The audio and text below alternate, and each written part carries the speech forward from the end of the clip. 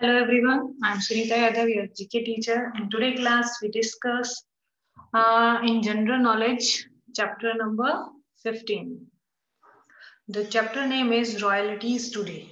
Modern way of governments and development have diminished the importance of royal rules. अभी जो modern way है उसके अंदर रॉयल रूल्स को इतनी इंपॉर्टेंट नहीं किया गया उसको डिमिनाइज किया गया है और they are still some country लेकिन अभी भी कुछ कंट्रीज़ के अंदर in the world where royalties are in power अभी भी कुछ कंट्रीज़ के अंदर रॉयल्टीज पावर में है. How many can you identify correctly using given clues अब कुछ क्लूज दिए हुए हैं, उनके अकॉर्डिंग आप इनको आइडेंटिफाई कर पाते हैं कि नहीं? देखते हैं. First question is sultan of Brunei is Hassan Bolkiah ठीक है? Sultan of Brunei Hassan of Bolkiah second is king of Switzerland king of Switzerland कौन है? Mswati third okay next king of Bhutan sorry king of Thailand third one is king of Thailand king of Thailand कौन है? महावाजी रोंगलुंगकरण ठीक है? Fourth king of Bhutan जो है, वो है Jigme Khesar Namgyel Wangchuck okay next one is prince of Monaco he is Albert second next one is king of Bahrain he is uh, Ahmad bin Isai al Khalifa.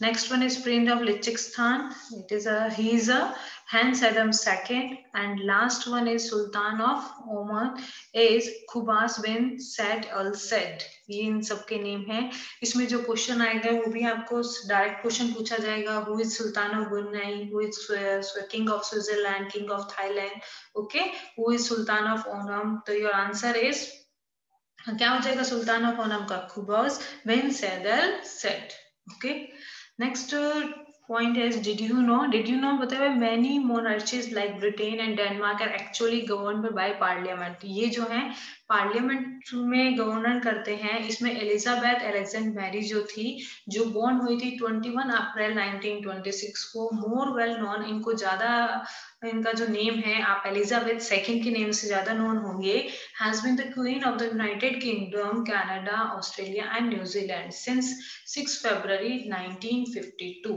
ये के वहाँ की queen थी New Zealand की 6 फरवरी 1952 तक she is the head of the Commonwealth ये Commonwealth की head थी and the queen of twelve countries that become independent since her association ये अपनी पूरी लाइफ में ट्वेल्व कंट्रीज़ की इंडिपेंडेंटली क्वीन रही थी। लेकिन इंडिया के अंदर तो क्या है पार्लियामेंट है। अब ये जो रॉयल वाला जो है वो बिल्कुल एंड है। Next chapter in we discuss chapter number sixteen the chapter name is festival of the world देखिए डिफरेंट टाइप के फेस्टिवल्स हमारी uh, में भी एंड अदर कंट्रीज़ में भी uh, बनाते हैं। ऐसे फेस्टिवल्स वहाँ के जॉय को सिंगिंग डांसिंग रिलीजन्स इन सब चीज़ों को एंजॉय करके फेस्टिवल्स बनाए जाते हैं। तो इस चैप्टर के अंदर हम डिफरेंट डिफरेंट टाइप के फेस्टिवल्स देखेंगे जो बहुत ही अजीब होंगे, जो आपने आज से पहले नहीं सुना होगा।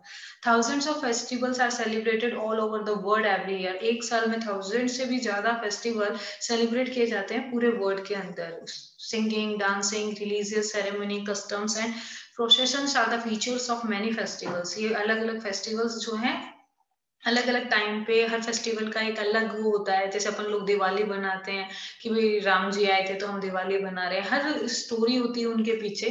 तो सेम उसी तरीके से चलिए फ़र्स्ट फेस्टिवल की तरफ़ चलते हैं। The Berber festival of bride and Imilchil festival ये फेस्टिवल का नाम है बर्बर फेस्टिवल ऑफ़ ब्राइड या इसका अदर नेम क्या है? एमलचल फेस्टिवल इसलिए एक ट्रेडिशनल मैरिज फेस्टिवल है जो बर्बर में सेलिब्रेट किया जाता है वहाँ के लोगों के थ्रू इमलचल में।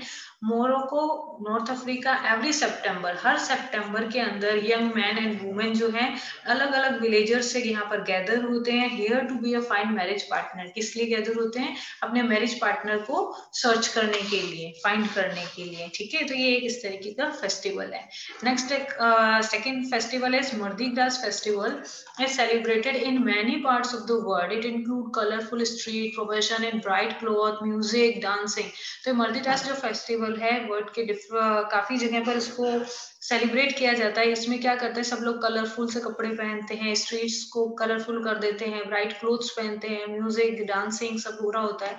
It is also called a fat Tuesday and Shrove Tuesday ये जो मर्दी ग्रास है इसका अलग नेम क्या है? Fat Tuesday and Shrove Tuesday भी है। As people eat fatty food people before the ritual fasting of the Lenten season एक लंबे टाइम तक तो ये फास्टिंग करते हैं। आफ्टर दैट वो इस डे को बहुत फैटी फ़ूड भी ईट करते हैं। ये इस सेलिब्रेट फेस्टिवल uh, की uh, एक इम्पोर्टेंस है। नेक्स्ट है Maasai of Africa are various they are accepted to brave and fearless देखिए जो अफ्रीका के वेरियर्स हैं जो वीर योद्धा हैं वहाँ के है ना? उनके लिए ये जो फेस्टिवल बनाया जाता है उनकी ब्रेव और फियरलेसनेस को चेक कर देखने के लिए one test of their courage is traditional lion hunt एक टेस्ट किया जाता है जिसमें वो ट्रेडिशनल तरीके से लायन का हंट करते हैं। Before they hunt and the warrior जब ये हंट करने के लिए जाते हैं एक लायन का, उससे पहले एक रिचुअल डांस किया जाता है जिसको हम नाम्बा कहते हैं। The ritual dance perform by called Namba. उस रिचुअल डांस को हम क्या बोलते हैं? नाम्बा बोलते हैं। तो ये भी एक ट्रेडिशनल एक फेस्टिवल है जिसके अंदर इस तरीके की चीज़ें की जाती हैं। नेक्स्ट है did you know the festival of Diwali celebrated by Sikh significantly like Hindus जो फेस्टिवल दिवाली है वो सिग्निफिकेंटली तरीके से सिख ने हिंदूज को जैसे बनाना 1577 में स्टार्ट कर दिया किया था। क्यों क्यों किया था? The foundation of stone golden temple जब गोल्डन टेंपल का फाउंडेशन हुआ था उसके बाद से वो उस दिन को as a Diwali celebrate uh, करने लग गए थे। नेक्स्ट है बहुत इंटरेस्टिंग है आपको पिक्चर भी बहुत इंटरेस्टिंग लग रही होगी। La Tomatina festival is celebrated in Spain. ये जो फेस्टिवल है, वो कहाँ पर? स्पेन में सेलिब्रेट किया जाता है on the last Wednesday of August every year अगस्त के लास्ट वेडनेसडे सॉरी वेडनेसडे जो होता है, उसमें हर साल ये फेस्टिवल सेलिब्रेट किया जाता है। Around fifty thousand local and foreigner descend on the street to throw tomato at one other यहाँ पर फिफ्टी थाउज़ेंड के आसपास लोकल्स यहाँ पर कलेक्ट होते हैं और एक दूसरे पर क्या थ्रो करते हैं? टोमेटो थ्रो करते हैं। क्लियर ओके इंटरेस्टिंग है ना फेस्टिवल ओके नेक्स्ट फेस्टिवल है चीज़ रोलिंग चीज़ रोलिंग क्या है? Cheese festival is celebrated United Kingdom इसको यूनाइटेड किंगडम में सेलिब्रेट किया जाता है. The festival involve an official tossing a cheese down the extremely step hill बहुत स्टेप हिल है, बहुत ऐसी ढलान वाली हिल से एक चीज़ का रोल बना देते हैं, जिसको ऊपर से गिराया जाता है after which hundred of people began to run इनमें से हंड्रेड ऑफ़ पीपल उस चीज़ रोल के पीछे भागते हैं, उसको कैच करने के लिए to run down the hill in order to catch the cheese जिस चीज़ को कैच करने के लिए ज़ोर से पहाड़ी के नीचे की तरफ़ भागते हैं, और जो ये चीज़ रोल लेता है, वो विन हो जाता है। तो ये गेम के जैसा फेस्टिवल है। देखिए, आप देख रहे हो हिल से उतरते टाइम कितने लोग गिर रहे हैं। है ना? तो ये चीज़ रोलिंग फेस्टिवल है जिसमें ऊपर से चीज़ को हम्म, क्या किया जाता है? टॉस किया जाता है जिसके पीछे सब लोग भागते हैं और उसको लास्ट में कैच करते हैं। ओके नेक्स्ट वन इज़ जो Thaipusam in Hindu festival है it is celebrated mostly in Tamil Nadu ये कहाँ पर सेलिब्रेट किया गया है? तमिलनाडु में, जो पुसम है, हिंदी फेस्टिवल है। It is held in January February each year to celebrate the birth of Murugan ये जनवरी फरवरी में, हर साल में किसके बर्थ पर? मुर्गन के बर्थ पर, जिसको माना जाता है, ये जो मुर्गन है, वो कौन है? Son of lord Shiva and Parvati जो पार्वती और शिवा के क्या है? सन है। तो उनके बर्थ पे थाई पुसम सेलिब्रेटेड किया जाता है। It is also celebrated in Singapore and Malaysia अब एक तो ये तमिलनाडु में तो सेलिब्रेट होता ही है। इसके साथ में ये सेम जो फेस्टिवल है, वो सिंगापुर और मलेशिया में भी सेलिब्रेट होता है। Next bonfire to Saint John is popular festival in Spain अब नेक्स्ट जो फेस्टिवल है, इसमें बोन किया जाता है फेस्टिवल में।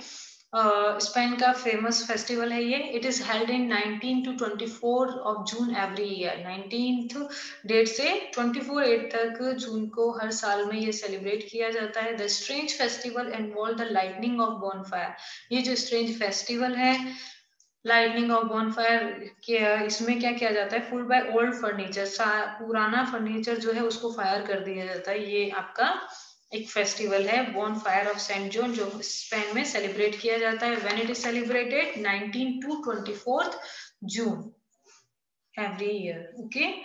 Uh, now find out where and when do people celebrate thanksgiving day कब और थैंक्सगिविंग डे सेलिब्रेट किया जाता है? Where it is celebrated in Canada Thanksgiving day जो सेलिब्रेट होता है, वो कहाँ होता है? कनाडा में होता है, ठीक है?